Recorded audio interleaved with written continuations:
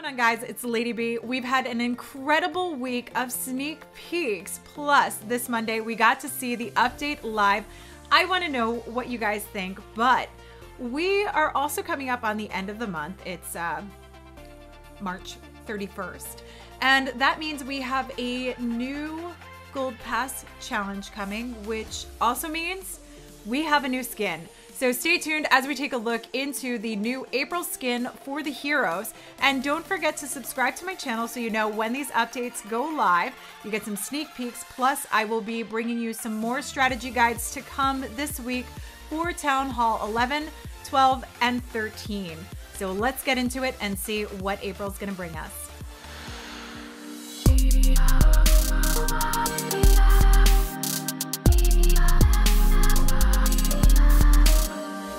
Update's live. It's heading into the beginning of the month, which means we have the new Gold Pass Challenge to come.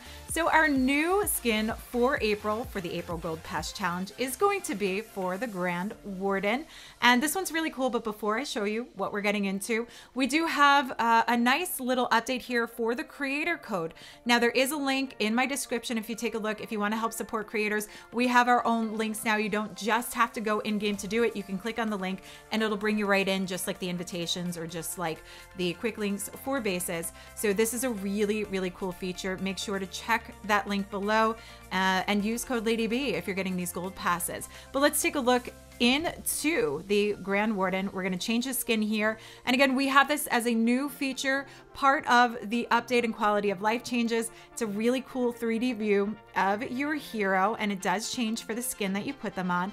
So you can see here we have our regular Warden. We have our Party Warden. We have the Primal Warden. And now officially for April, we have the Clockwork Warden. So the Clockwork Warden, I love the play on name here, uh, but he looks very reminiscent of the clock tower. And as we spin him around, you can see he's got a little wind up gear that keeps him going, powered up. And he's got a mean looking Tesla stick there. Uh, I'm a little bit worried about how he's to roast some troops with it. So uh, let's select him, get that skin going. We see him here bouncing around, super excited, ready to go. And let's see how he looks in gameplay with a Town Hall 13 Super Queen Charge Hybrid.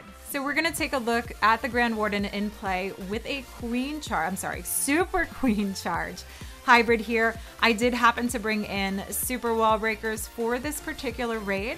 Um, just to go with the charge, I wanted to try out the new Super Wall Breakers a little bit more. You saw the Queen Charge Lalo that I did with them. I wanted to see it with ground as well um, and and see how well I can do with these super troops. And again, this one picked up a triple coming through. Um, we'll get to see the Grand Warden momentarily, but first, this Queen Charge needs to work in.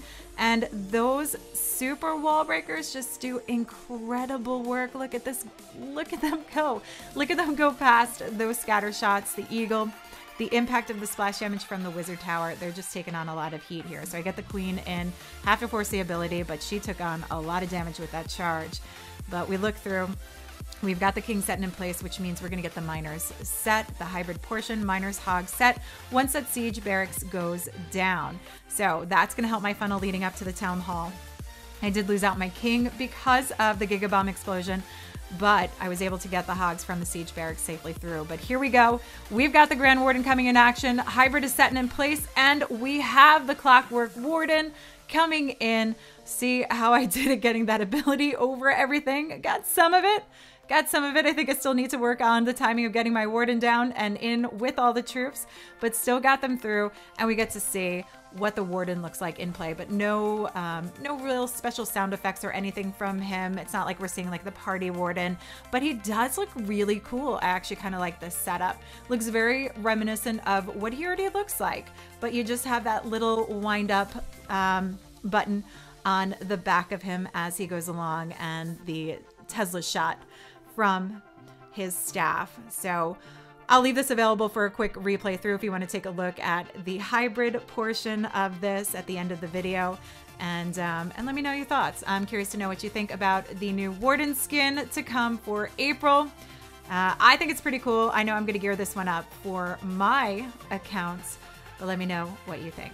Don't forget to get those creator codes in when you're purchasing your gold passes. And don't forget to subscribe if you're not already subscribed and you want to see more of these updates, sneak peeks, and more strategy guides to come. I have a few more strategy guides dropping this week. It's been busy with the updates, but I promise you'll be seeing some Town Hall 11, Town Hall 12, and Town Hall 13. Plus, I'm going to show how to use these super troops even more with more of these triples. If you stay tuned to the end of the video, you're to see that replay again with the Super Queen Charge Hybrid to take a look and see it in action. Until next time, this is Lady B. I'll catch you guys later.